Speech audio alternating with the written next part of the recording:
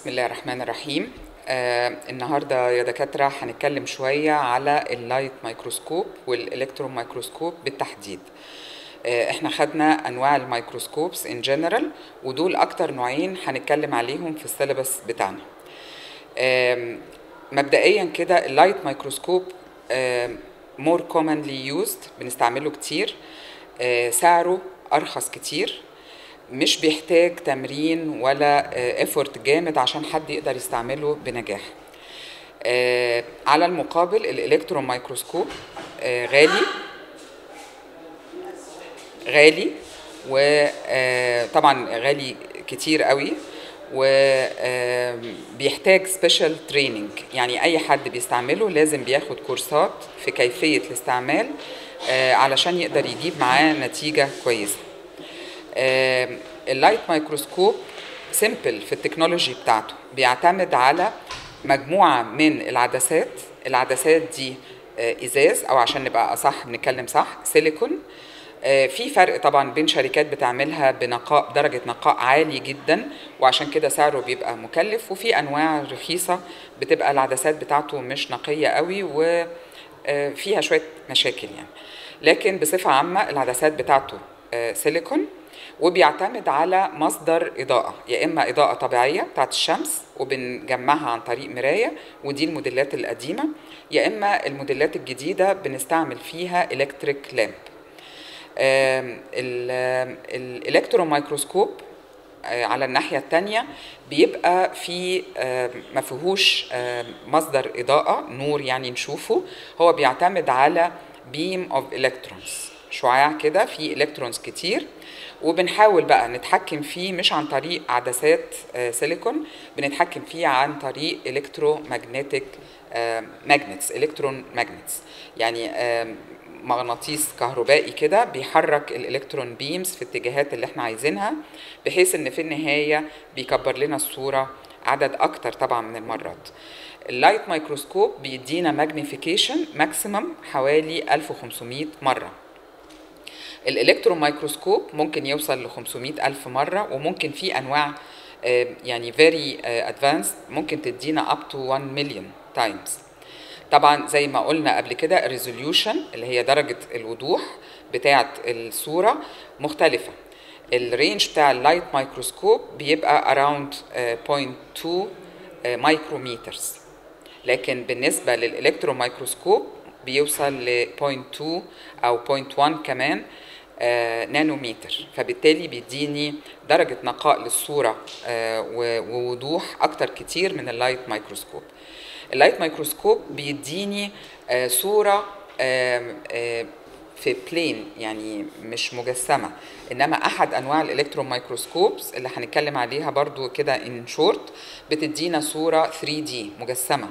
نقدر نشوف فيها outer structure بتاع أي حاجة صغيرة نقدر نعمل لها examination آه هنا ال light microscope ممكن أستعمله أشوف بيه living structure أو non-living structure يعني ممكن living cells مثلا أشوفها ممكن بطريقة معينة. لكن ال electron microscope لأني اولا بعرضه ل chemicals قاسية جدا وبيشتغل في vacuum لكن هنا إحنا ممكن نشتغل في ال atmosphere عادي. فدي يعني تلخص لنا معظم الفروقات اللي ما بين ال light microscope وال electron microscope. طيب إحنا هنستعمل الميكروسكوب بتاعنا ده ده example للي هتلاقوه تحت في المعامل. ده light microscope ب 1 eyepiece يعني بنشوفه بعين واحدة. في أنواع تانية بيبقى فيها 2 eyepieces كده بنسميها binocular binocular طبعا دي بتبقى أفضل بتريح شوية اللي بيعمل examination يقدر يقعد عليها فترة طويلة من غير ما عينه تتعب.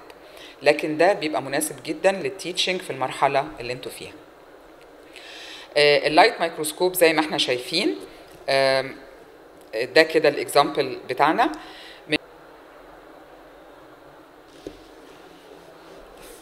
بعد ال eyepiece لو نزلنا تحت شوية بنلاقي آه، حاجة كده زي knob وفيها عدسات. العدسات دي أهي واحدة قصيرة خالص ولو قدرنا نشوف اللي عليها الكتابة اللي عليها هيبان عليها number 4 وفي عليها خط أحمر هنا. في بعديها واحدة تانية عليها خط أصفر ومكتوب عليها 10 X 10 X. وفي واحدة تالتة عليها خط أزرق ومكتوب عليها 40 X. وفي slot هنا فاضي ممكن بيركب فيه عدسة إضافية أربع عدسات. آه، دي بنسميها ال nosepiece rotatory piece بنقدر نلفها كده أهي وبنسمع tick أو click كده. دي كده معناها إن العدسة دي in line مع ال eyepiece اللي إحنا بنبص فيها. تمام؟ العدسات اللي هنا دي بنسميها objective lenses. ليه؟ لأن دي very close to the object to be uh, examined. ال slide بتاعتنا بتتحط هنا بتتحط هنا تحتيها. وبنختار ال power على حسب ال magnification اللي إحنا عايزينه. ال magnification بنحسبه عن طريق إن إحنا بنعمل multiplication لل power of the eyepiece مع ال power بتاعه ال objective اللي بنختارها. say مثلا إن هختار ال objective دي الحمراء اللي هي 4x يبقى 10 times 4 equals 40 يبقى اذا الحاجة الصورة اللي هشوفها هنا هتبقى متكبرة 40 مرة. لو عايزة أكتر من كده هستعمل الصفرة اليلو ودي بتبقى 10x يبقى هنا 10 times 10 equals 100 يبقى هتبقى متكبرة 100 مرة. لو حركت على البلو 1 هيبقى 10 times 40 هنا في الاوبجكتيف يبقى 400 times. يبقى ده كده قوة التكبير المتاحة عندي. ولو حطيت في الرابعة دي ممكن أحط واحدة 100 ودي بتديني 1000 إكس يعني متكبر أكتر آه، حوالي 1000 مرة. يبقى دول العدستين دول. في عدسات تاني آه في عدسة تاني بس العدسة دي مكانها تحت خالص. تحت خالص. هنا. العدسة دي عبارة عن عدسة إزاز آم، هنا. يعني جوه جوه المساحة اللي هنا دي. هي مش باينة قوي بس جوه هنا. دي بسميها كوندنسر مكثف. بتجمع لي الأشعة بتاعت الضوء اللي جاية من تحت. اللمبة اللي تحت دي دي اللمبة. لو نورناها كده علشان نشوفها.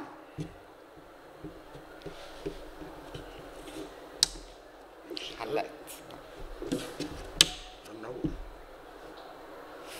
مش عالية خالص يا فهمي هو ده على يبقى لو بصينا هنا في ال eyepiece بنبص through ال eyepiece بننزل تحت على ال objective lens وتحت هنا في ال condenser في الحتة دي. بيفتح ويقفل على حسب ما إحنا عايزين قوة الإضاءة تبقى موجودة فوق وتحت منه ال lamp اللي منورة اللي شايفينها منورة دي تحت هنا. ممكن في عليها زي diaphragm كده بقفل منه أقلل الإضاءة وممكن اعكسه الناحية التانية أزود شدة الإضاءة. تمام؟ الجزء بقى اللي هنا ده بنسميه stage عامل زي table لونها أسود كده وفيها defect في النص. الحتة دي الفاضية عشان تسمح للإضاءة إن هي تطلع من تحت. تمام؟ يبقى ده stage ال stage بلاقي عليه الكليب ده وفي حاجات هنا مربوطة بمسامير. ده اسمه mechanical stage ليه mechanical stage لأن ده اللي بحط هنا ال slide وممكن يخليني أتحرك بال slide دي. إيه اللي بيتحكم فيها؟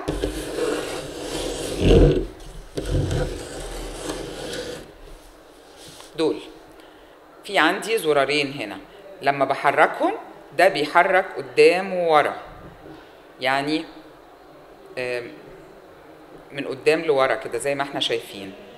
واللي تحت واللي فوق منه بيحرك أو اللي تحت منه أهو بيحرك from side to side.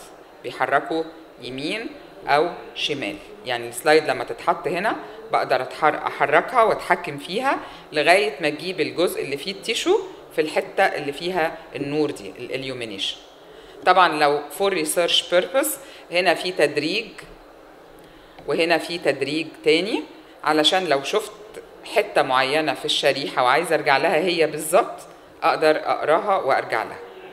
تمام؟ طيب. آه، في هنا في الجنب بنلاقي two knobs واحدة منهم بسميها ال coarse adjuster ودي زي ما إحنا شايفين بتحرك ال stage مسافات كبيرة. أهو كده نزل تحت.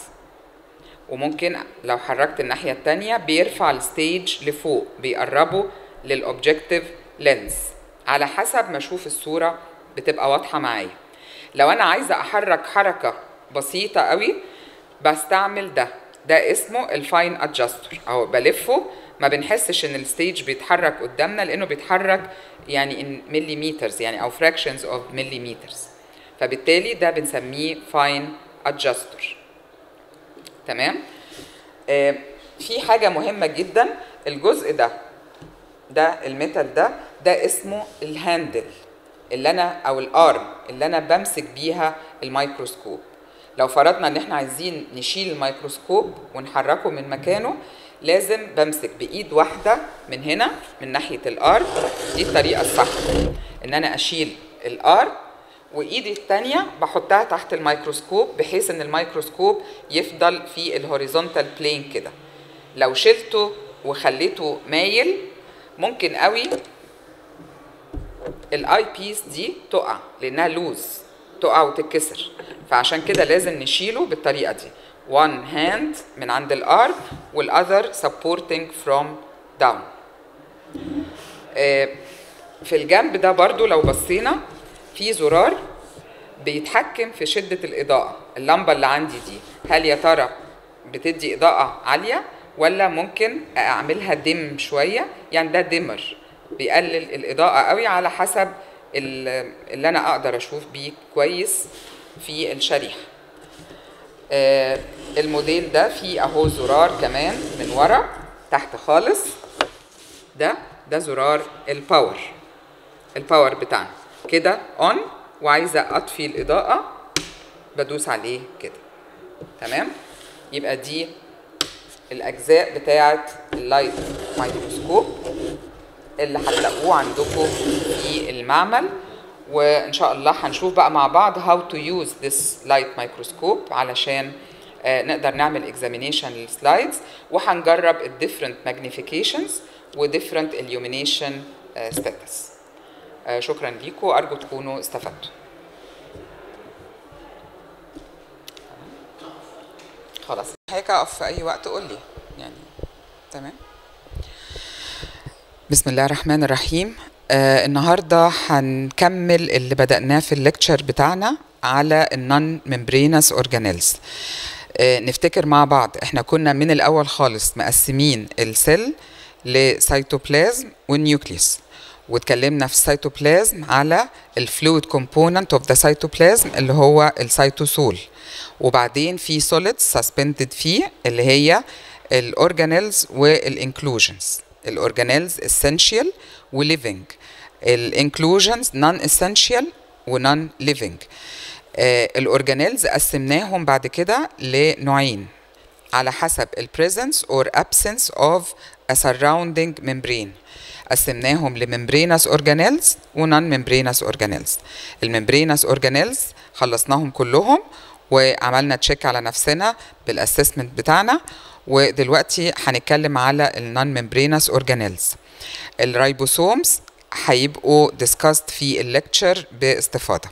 لو نفتكر بقى مع بعض التقسيمة اللي إحنا عملناها لل non-membranous organelles قلنا أهم واحد آم، وأول واحد بنتكلم عليه دايما ال ribosomes بعد كده في structures تانية very close to the nucleus اللي هم ال centrioles في ال derivatives من ال centrioles دي بتبقى واخدة جزء من ال cell membrane و projecting من ال cell ودول في منهم structures as cilia known as cilia و structures as flagella.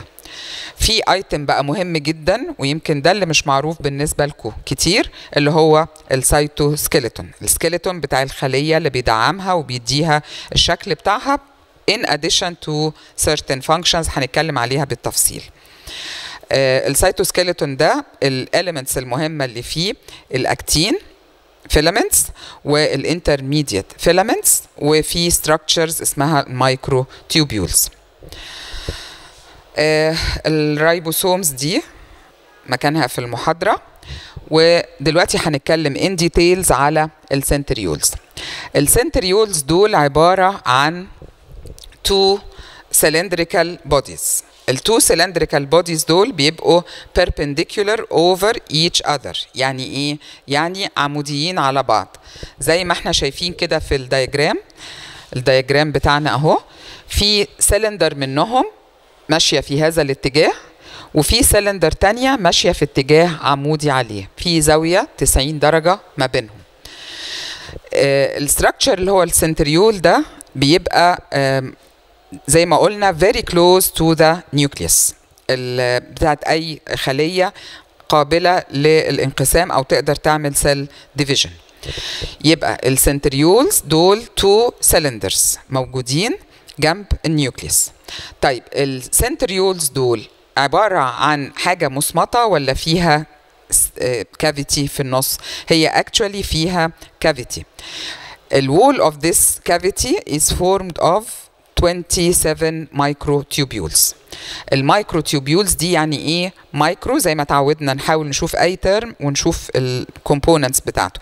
مايكرو يعني very small و tubules يعني آه tube صغيرة أو أنابيب صغيرة. طيب ال 27 microtubules دول يا ترى دول موجودين كده بترتيب عشوائي يعني ولا لهم ترتيب محدد. لو خدنا بالنا من الصورة هنلاقي إن ال microtubules مترتبين مع بعض in threes يعني كل ثلاثة عاملين bundle مع بعض. آدي bundle وآدي bundle وآدي bundle لو قسمنا ال 27 microtubules في ثلاثات هيبقى عندنا 9 bundles. يبقى ال wall of the centriole is formed of 27 microtubules arranged in 9 triplets. هي بتتقال كده على بعضها. طيب هل يا ترى دول بنلاقيهم موجودين على طول؟ هم بيبقوا موجودين طالما إن ال cell دي عندها قدرة على ال cell division طيب موجودين بنفس الشكل بتاعهم آه بيبقوا موجودين بنفس شكلهم. علشان كده بنسميهم stable microtubules يعني موجودين طول الوقت مش بيتفككوا ويرجعوا يتركبوا تاني. لا هم موجودين على طول طالما إن ده feature من ال features of the cell طيب يا ترى إيه اللي ماسكهم في بعض؟ ال microtubules دي. في يعني cement like substance كده عبارة عن proteins soft زي matrix بتمسكهم مع بعض وبتخليهم ثابتين تعمل لهم support ويفضلوا بنفس الشكل ده موجودين. طيب إيه بقى ال function بتاعة ال centriole ال centrioles بتبقى مهمة جدا في أثناء ال cell division ال mitosis أو ال meiosis. ال centrioles دي لما ال cell بتبتدي تخش في أول مرحلة من ال division اللي هي ال معلش sorry اللي هي ال prophase. لما بتبقى في ال prophase خلاص ال centrioles دول بيبقى في حركة واضحة بيبتدي كل centriole يبعد عن التاني و they migrate to the opposite poles of the cell واحدة بتروح يمين واحدة بتروح شمال علشان in between these two centrioles هيتكون microtubules جديدة بنسميها ال mitotic spindle spindle يعني المغزل. بيبقى فيه microtubules كتيرة بتتكون ما بين ال two centrioles علشان تبقى دي tools نقدر نتحكم في ال chromosomes بيها زي ما هنشوف بعد كده أثناء ال cell division يبقى لها دور مهم جدا في حكاية ال cell division دي وعدم وجود ال centrioles ما يخليش ال cell دي تقدر تعمل division الحاجة التانية إن ال centrioles دي ممكن تكون لنا structures تانية آه، عن طريق إن هي بيحصل لها prolongation بتطول شوية ال microtubules دي وتبتدي تعمل pushing لجزء من ال cell membrane ويطلع بره حدود ال cell ك projection ودي عندنا آه، نوع مهم جدا في في ال human اللي هو ال cilia وال flagella. عندنا example واحد فقط لل flagella. ال flagellated cells دي موجودة في ال sperm بس عند ال males. إنما ال cilia ال cilia دي this is a very important feature بنلاقيه في أماكن كتير زي ال respiratory passages وال genital passages بنلاقيهم في cells كتيرة. مش بتحرك ال cell نفسها زي ال primitive organisms أو ال prokaryotes لا هي بتحرك fluid قدام ال- ال cell دي وبتخليه يتحرك في اتجاه معين لمصلحة المكان اللي هو فيه طبعا. تمام؟ يبقى ال centrioles ممكن يكونوا لي ال cilia وال flagella طيب لو مسكنا آه، microtubule على مستوى molecular يعني إحنا بقى مش عايزين نشوف شكلها بس كده إن هي يعني very thin tubule هنخش جوه ونعرف ال molecular structure بتاعها. هي اولا متكونة من بروتين units بروتين units دي البروتين ده اسمه tubulin هو اللي عامل ال microtubules جميل. طيب فين بنلاقيها أو فين بتتكون ال microtubules دي؟ بتتكون من مكان اسمه microtubular organizing center أو centers. بيبقى فيه خلايا بتحتاج centers أماكن كتيرة. طيب ده بنختصره بناخد ال initials بتاع كل term من دول بنسميه MTOC طيب آه، إيه ال units اللي ببني منها ال microtubule البروتين اللي إحنا بنقول عليه. هنا في ال diagram ده لو إحنا شايفين في عندي وحدات متكونة من اتنين molecules لازقين في بعض. في unit منهم باللون الأخضر وفي unit تانية باللون ال purple أو ال red دول نوعين مختلفين نوع alpha tubulin ونوع اسمه beta tubulin ال alpha tubulin هنا الأخضر والبيتا هو الأحمر. طيب بيعمل لنا وحدة بنسميها dimers. Dimer يعني إيه؟ يعني two. Di يعني two. يعني الوحدة أو ال block بتاعنا أو الطوبة اللي بنبني منها ال microtubules هي عبارة عن dimer. وال dimer ده يعني متكون من جزئين. الجزئين مش زي بعض. هما بروتين و tubulin بس في فروقات chemical ما بينهم ففي نوع اسمه alpha tubulin و beta tubulin. بما إن الوحدة هنا مشكلة يعني الاتنين مش زي بعض فبسميها heterodimer أو heterodimer تمام؟ يبقى الوحدة دي الاتنينات دي بيترصوا زي ما شايفين هنا في ال rectangle ده بيترصوا فوق بعض. آدي dimer وآدي dimer وآدي dimer وهكذا. طيب طول ال dimer ده المفروض يوصل لقد إيه؟ ده مختلف. في حاجات بتحتاج أطوال أكتر من غيرها فملوش طول ثابت. لكن ال microtubule ال diameter بتاعها بيتكون من عدد ثابت من الوحدة اللي إحنا شايفينها قدامنا دي. الوحدة دي بسميها protofilament protofilament اللي هي ال dimers اللي فوق بعضها دي اللي جوه ال rectangle الأبيض. يبقى ال protofilament ده وحدة بتتكرر في ال wall بتاع ال microtubule بتتكرر كام مرة؟ 13 times 13 وبالتالي يبقى كل microtubule متكونة من 13 protofilament وده بيخلي ال diameter بتاعها ثابت. ال diameter اللي هو ال ال القطر بتاعها آه، بيبقى حوالي 24 نانو متر يبقى ده حاجة ثابتة فيهم كلهم ليه؟ لأن هما بيتكونوا من 13 protofilament ال protofilament يا ترى طوله بقى ثابت برضو؟ لا ده على حسب ال cell وعلى حسب المكان اللي هي موجودة فيه تمام؟ طيب آه ده بيديها إيه بقى يا ترى؟ هل بيديها صلابة بحيث إن هي تبقى rigid وممكن يعني تعمل مشكلة لو حصل pressure عليها تتكسر أو يحصل لها damage ولا هي very soft و unstable لأ هي الحقيقة بتبقى flexible يعني فيها شيء من المرونة. هل وارد مثلا إن ال dimers دي بدل ما هي ماشية كده في خط مستقيم يحصل لها branching يعني يركب dimer كده و dimer كده ويبتدي يبقى ال structure بتاعها فيه branching لا ده مش وارد خالص. ال microtubules بتبقى بنفس الشكل كده cylinder non-branching تمام بتبقى مرصوصة ال protofilaments دي parallel لل long axis بتاع ال microtubule اللي إحنا عايزين نكونها. يعني ال microtubule ماشية كده ده ال long axis بتاعها المحور الطولي بتاعها يبقى هنرص ال protofilaments في ال wall بتاعها بالطريقة دي. لو ال long axis ماشي بالعرض يبقى هنرصهم كده حوالين ال long axis طيب في هنا معلومة تهمنا of medical importance. آه المعلومة دي إن أي cell عشان يحصل لها division لازم يتكون microtubules كتير وتعمل ال mitotic spindle زي ما قلنا. عن طريق تكوين new microtubules ال new microtubules دي بتحاول إن هي تمسك ال chromosomes عشان تعمل proper cell division و guided هي اللي بتحرك ال chromosomes في اتجاه معين وتقدر تعمل خطوة ال separation يبقى اذا أي cell عشان يحصل لها cell division محتاجة إن يكون عندها microtubules كتيرة في وقت معين في ال cell cycle أو في دورة حياة الخلية دي وهي بتنقسم.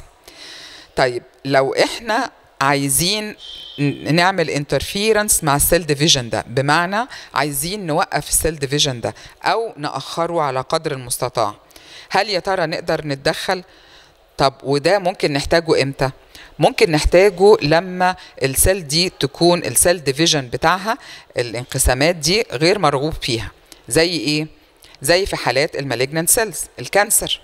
ممكن علشان نأجل شوية أو نقلل سرعة زيادة عدد ال cells ال cancerous cells ممكن إن إحنا نحاول نخلي ال microtubules بتاعة ال spindle ما تتكونش أو نقللها خالص على قدر المستطاع طب ده نقدر نعمله بإيه؟ بنقدر نعمله ب medication أحد أنواع الأدوية اسمه ال colchicine ال colchicine ده في الأساس كان دواء بيتاخد علشان علاج ال gout اللي هو مرض النقرس اللي فيه uric acid كتير في ال blood ولقينا إن ليه cytotoxic effect يعني بيأثر على الخلايا عن طريق إن هو بيمنع تكوين ال microtubules دي. تمام؟ يبقى ال microtubules مش هتتكون. فبالتالي ال cell ال chromosomes مستعدة اهي علشان تعمل cell division لكن مفيش حاجة هتمسكها وتحركها. فبالتالي ال cell division هيبقى arrested arrested يعني stopped. فبالتالي لو malignant cell ومش مرغوب ان هي تنقسم براحتها كده ممكن ان إحنا آه نحاول نعطلها. عن طريق الكولشيسين ده وفعلا الكولشيسين من الأدوية اللي بتخش في ال protocols المختلفة بتاعة ال chemotherapy of cancer patient طيب. ال cytoskeleton زي ما قلنا ال cytoskeleton ده مجموعة من structures مختلفة هي اللي بتدعم الخلية وبتدعم الشكل بتاعها وبتخليها مفرودة علشان يحصل فيها chemical reactions براحتها وفي نفس الوقت بتسهل حركة ال molecules بتعمل زي سقالات كده.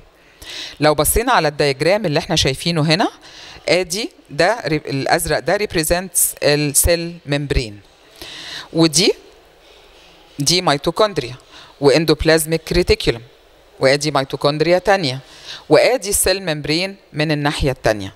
طب إيه اللي مش بيخلي ال cell membrane ده ينطبق كده على ال cell membrane اللي في الناحية دي؟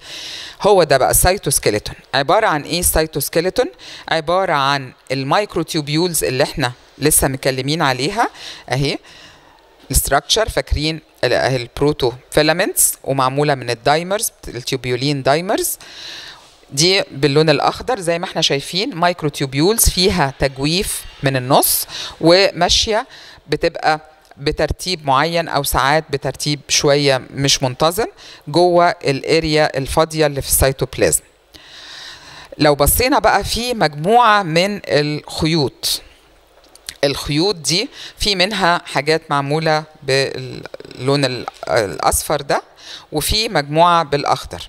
الأخضر ده represents الأكتين filaments دي خيوط متكونة برضو من أنواع من ال proteins ورفيعة. ال diameter بتاعها بيبقى رفيع. فدي بنسميها thin filaments وهي أشهرها الأكتين. ده اللي نقصده بيها. في filaments تانية اللي هي المصفرة شوية دي دي اسمها intermediate filaments.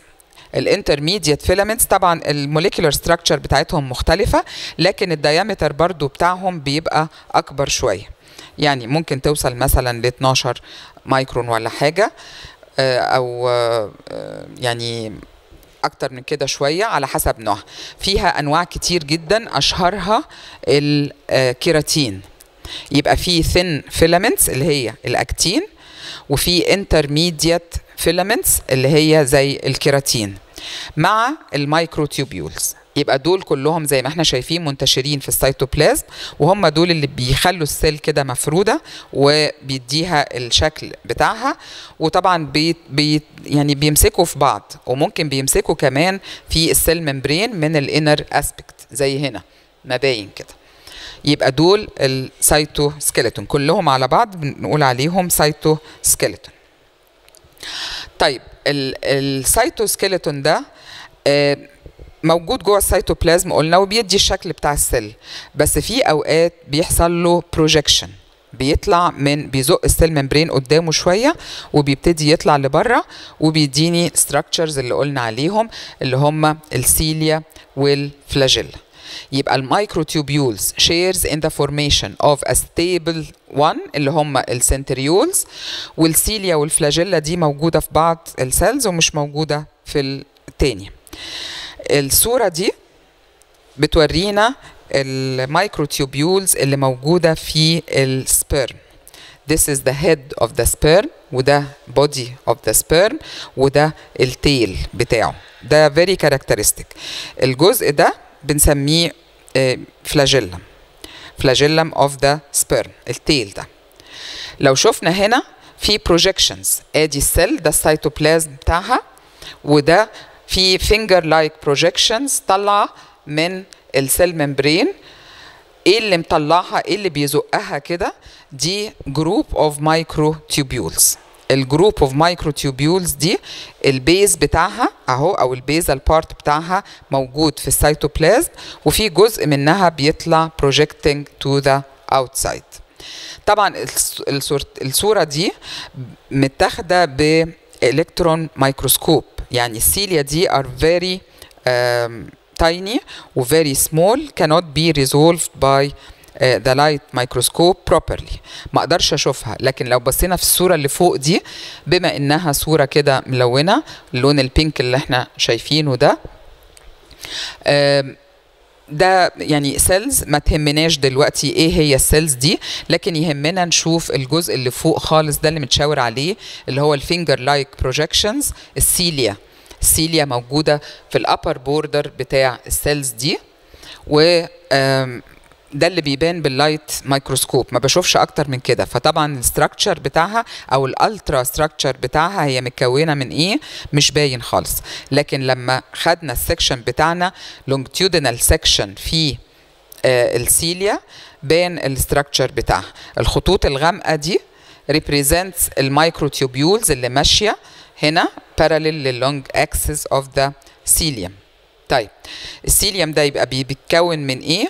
بيتكون من part بنسميه ال basal body بتاع ال cilium وفي part projecting to the outside في الحتة اللي فيها ال lumen دي بره الخلية خالص وده بسميه ال shaft of the cilium أو ال axoneme of the cilium يبقى this is the axoneme of the cilium وهنا ال base بتاع ال cilium.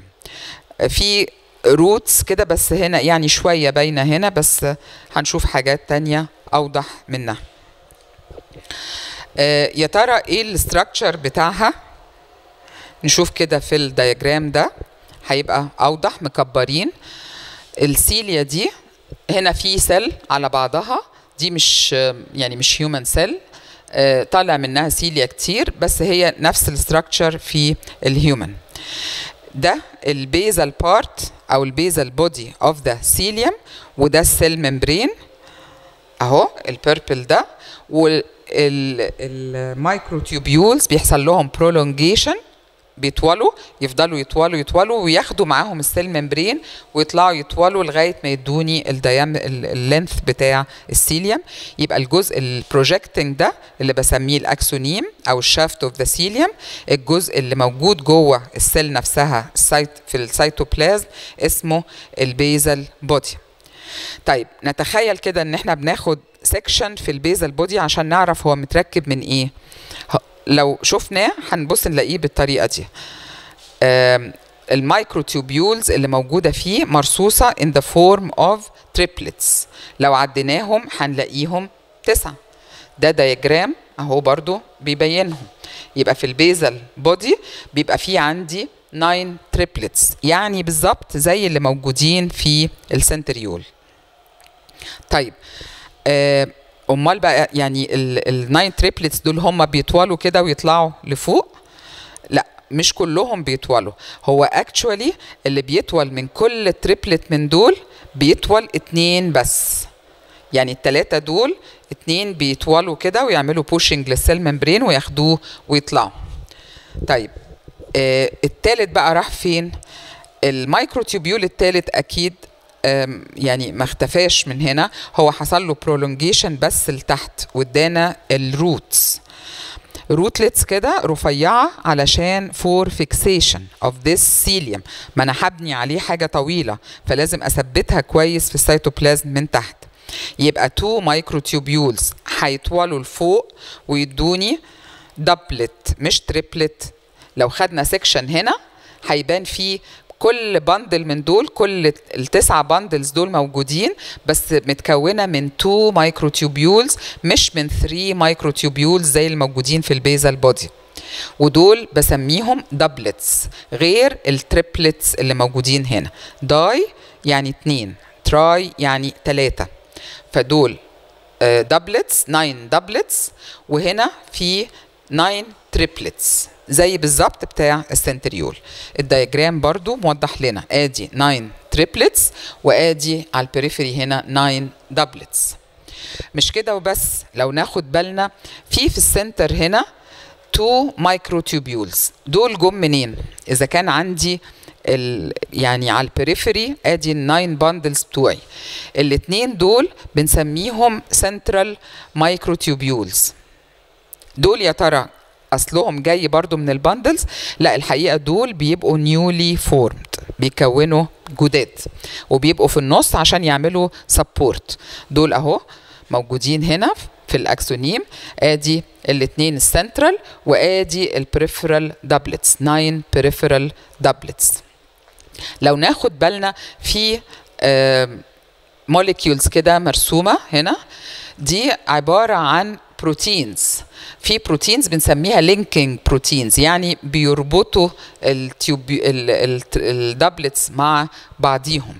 في هنا بروتين مهم موجود ما بين ال bundles دي ال doublets وبيمسك microtubule مثلا.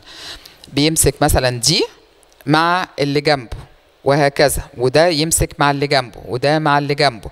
علشان في النهاية ال cilium ده يقدر يعمل beating أو يتحرك يقوم يعمل current أو تيار قدام ال cell يحرك ال fluids اللي قدامها تمام؟ يبقى this is the structure of a cilium. ده diagram وده diagram وده uh, actual uh, electron micrograph.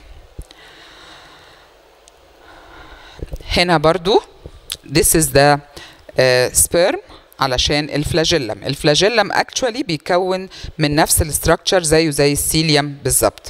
يبقى ده longitudinal section فيه كده في ال tail of the sperm ولو خدنا فيه cross section هيبان برضو هنا 9 peripheral doublets اتنينات اهم وفي 2 central جداد اتضافوا جداد. يبقى ده ال microtubules والتركيب بتاعها في ال cilium وال flagellum وهو متشابه جدا. تمام؟ طيب في هنا عندنا clinical application مهمة.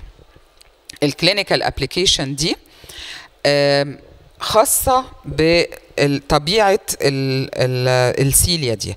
لو ال cilia دي if the, the cilia are well formed normally وفي معاهم البروتين اللي اتكلمنا عليه اللي بيعمل لهم linking لبعضيهم. وده بيبقى مسؤول عن الحركة. البروتين ده اسمه dynein. لو ال dynein ده موجود ومتكون بطريقة طبيعية هيخلي ال cilia دي motile تتحرك. لكن لو ال dynein ده مش متكون بطريقة طبيعية أو في مشكلة في تكوينه الجين بتاعه مثلا في مشكلة فتكون بطريقة غير طبيعية طبعا ده هيعمل مشكلة ممكن ما يبقاش موجود أصلا أو موجود بكميات صغيرة جدا أو بطريقة مش مظبوطة تركيبه مش مظبوط يبقى ده هيأثر على ال cilia اللي في الجسم كلها. هيأثر عليها إزاي؟ إن هي مش هتتحرك حركة مظبوطة. طيب مش هتتحرك حركة مظبوطة. هينتج عنها أمراض شكلها إيه؟ هينتج عنها أمراض إن ال cilia مش قادرة تحرك الحاجة اللي قدامها. هنشوفها مثلا في صورة إيه؟ هنشوفها والكلام ده يهمنا علشان ال scenarios ال case scenarios لازم ناخد بالنا منه ممكن يجي لنا MCQs بتتكلم عن الموضوع ده.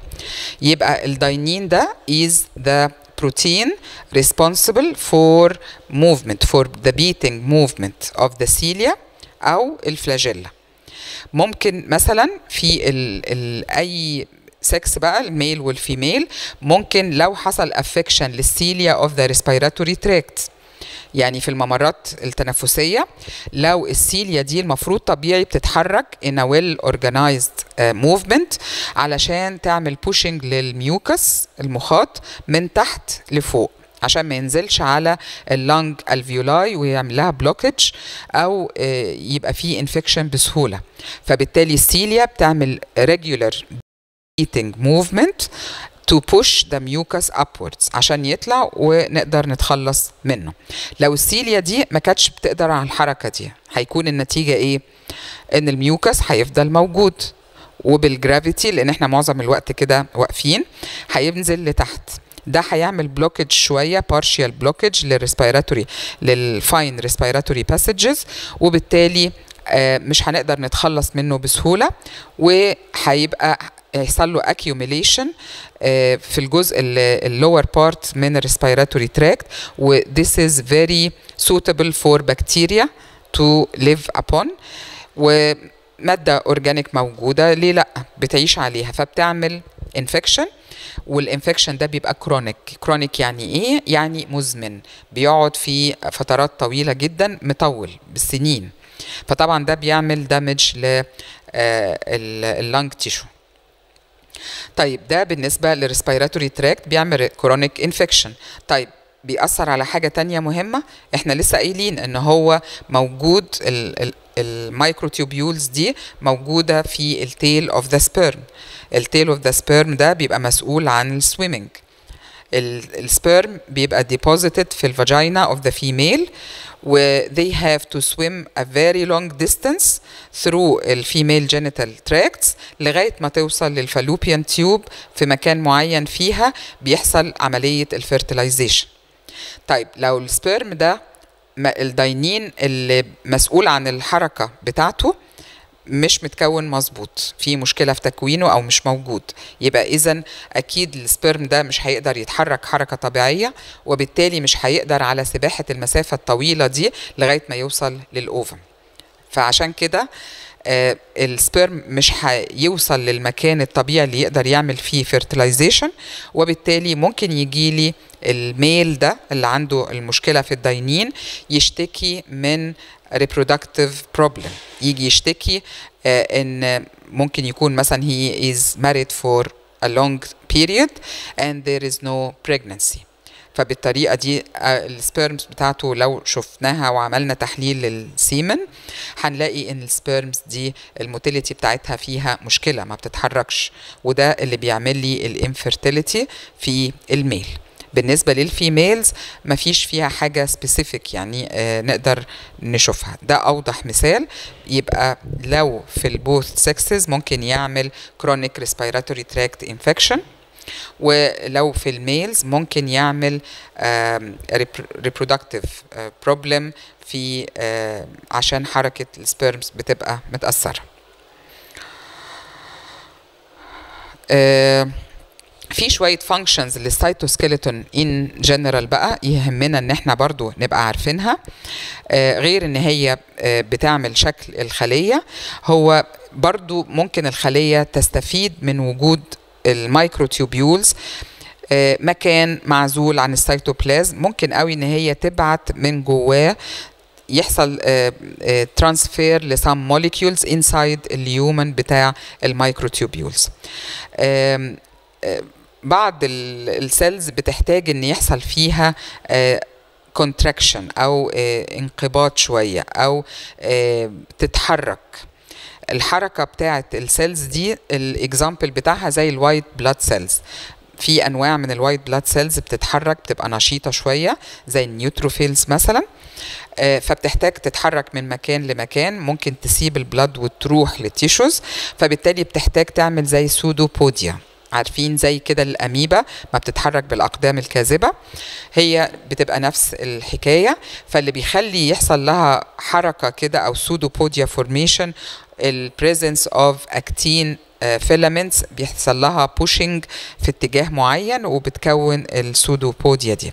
فعشان كده بتساعد على التكوين على الحركة بتاعتها. لو بصينا هنا هنلاقي عندنا ال function الأولانية ال maintenance of the shape of the cell وال transport of materials وال contractile properties زي في ال muscles العضلات وزي في ال mobile cells زي ال white blood cells وبعدين زي ما قلنا بتعمل ال spindle بتاع ال cell division ده اللي يعني يهمنا نعرفه النهارده.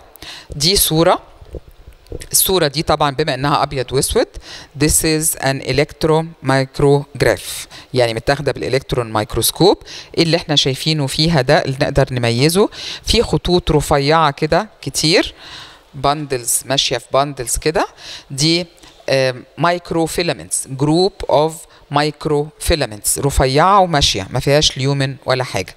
إنما ال microtubule أهي بتبقى فيها ال lumen من جوه. واضح إن بيبقى فيها ال lumen من جوه. طبعا عشان أشوف يعني ال lumen بوضوح محتاجة يمكن تكبير أعلى من كده. لكن زي ما إحنا شايفين it's not conclusive all the time. هقعد أقول هو ده يا ترى ده مثلا ده actin filament ولا إيه؟ فعلشان أتأكد من طبيعته بنستعمل special stain ال special stain دي بتبقى fluorescence لو ناخد بالنا ال background بتاعت الصورة دي أسود ضلمة خالص. وال structures اللي متشافة دي ب phosphoric color عاملة network ال network دي represents ال microtubules اللي في ال cell إيه عرفني إن دي microtubules ما أنا مش شايفة ال lumen جواها ولا حاجة. هل ممكن تكون microfilaments مثلا؟ لا هي دي طريقة من الطرق اللي بنستعملها في الصبغة اللي هي ال immunohistochemistry ببقى أنا محضرة من بره المادة اللي, اللي ماسك فيها صبغة منورة كده fluorescent زي ما إحنا شايفين ليها بريق أو ليها يعني بتلمع شوية كده ببقى عارفة المادة اللي ماسكة فيها الصبغة دي. فهي هتمسك بس هتبقى متصنعة ضد ال tubulin فقط. هتروح على ال tubulin بس وتصبغه بالمنظر اللي إحنا شايفينه ده. دي بس عشان يورينا ادي ال nucleus اللي واخده اللون الأحمر ده. ولو نبص كده ال microtubules عاملة شبكة كبيرة في السيتوبلازم علشان تبقى evident آه، نقدر نشوفها كويس. دي نوع زي ما قلنا اسمه immunohistochemistry. آه، كده آه، نبقى خلصنا آه، آه، جزء كبير من ال non-membranous organelles و آه، أرجو إن هي تكون بقت آه، واضحة بالنسبة لكم دلوقتي. ما ننساش ال cytoskeleton يعني to wrap up اللي إحنا اتكلمنا عليه النهارده ال microtubules ال microfilaments ال intermediate filaments دي كلها representing ال cytoskeleton وعرفنا أهميته في ال maintenance of the shape of the cell وفي حالة ال cell division وعرفنا شوية modifications من وجود ال microtubules بالذات in the form of cilia و flagella و very important for the respiratory tract و for the motility of the sperm آه شفنا ال كل ال الحاجات دي related لل centrioles ال centrioles permanent structure موجود وليه very critical role in cell division هو اللي بي guide cell division عن طريق تكوين ال spindle وبيتحكم في حركة ال chromosomes آم، كده يبقى غطينا ال non-membranous organelles و see you إن شاء الله in another lecture. Thank you.